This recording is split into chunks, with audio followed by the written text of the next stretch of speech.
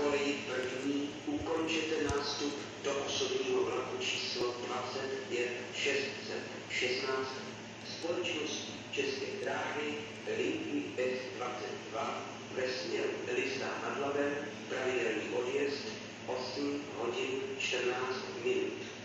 Vlak je připraven k odjezdu.